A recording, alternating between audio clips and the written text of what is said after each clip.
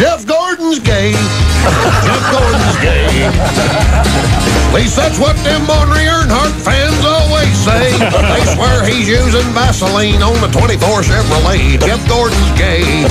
He must be gay. He wears rainbow colors. He's a handsome fellow standing in victory lane with a gorgeous little wife with a check in her hand sipping that gay champagne. And them Earnhardt fans up in the stands all choking on bread and spam. Say Gordon's gay every time he turns and hugs Ray Evernham. Jeff Gordon's gay. He must be gay. He's probably whistling Elton John or Spandau Ballet.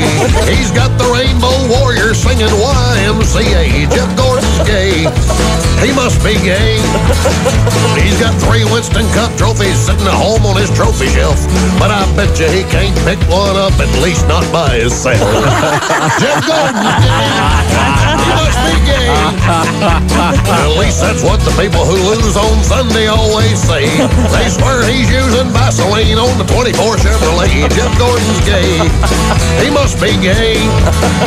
And next year he'll drive the long pink Cadillac for Mary Kay.